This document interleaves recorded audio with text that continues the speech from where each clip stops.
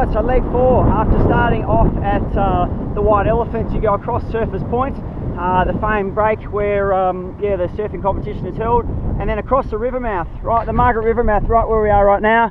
You can see our runners heading off, and uh, from here through, we're on the Cape to Cape track. There's a mixture of uh, sandy trails, some rocky sections as well, but uh, it's beautiful running, and on a day like today when there's this much surf and stuff happening, there's going to be uh, plenty to watch out there as well.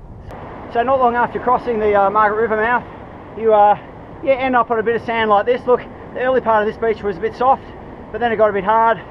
But look, we're in this uh, lovely wilderness spot like this, and uh, it feels like we're miles away from anywhere, but Margaret River and Prevelly's just back there.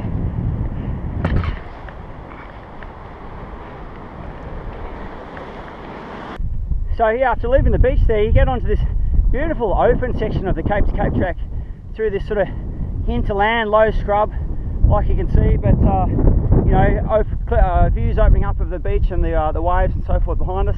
And meanwhile, you know, it's really easy running, you know, nice sense of flow, not too sandy underfoot, but not soft sand. So, you know, you can wind your way through here, just classic, beautiful trail running, really. So after that heathland, hinterland section that's down that long sandy downhill, and you're onto this nice flat double track in the Ellensbrook Valley itself. Uh, so when you know you get here, actually look at that, it's the toilet stop here, of the uh, Cape to Cape campsites. You know you're getting close to the Ellensbrook homestead and uh, that midway point on leg four. So after a few hundred metres on that lovely paved surface, which gives your legs a nice bit of a break and get some speed into it, you pop out the uh, Ellensbrook homestead, this beautiful historic site here.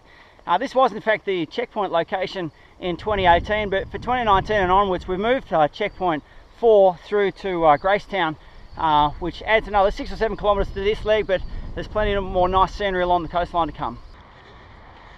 Now, the section between Ellensbrook and Gracetown, I reckon, is deceptively hard.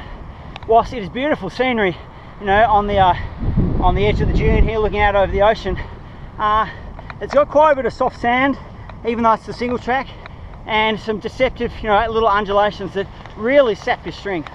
So my recommendation for any 80k runner obviously pace yourself. Go easy. Save energy for this time of the course because this is where it'll start to cut deep if you've uh, emptied the cookie jar before, earlier on in the course.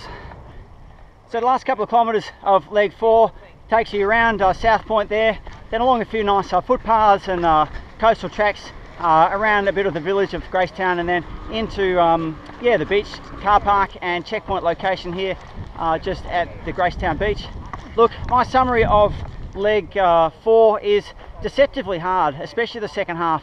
It's uh, a bit, whilst you're on single track, not on the beach, it's a little bit soft underfoot and some sneaky undulations there that you know, really sap the energy of anyone who's uh, tackling the full 80k. So my tip here is one of the crux legs, save some energy for this one, and then you've only got leg five to go to bring it all the way home.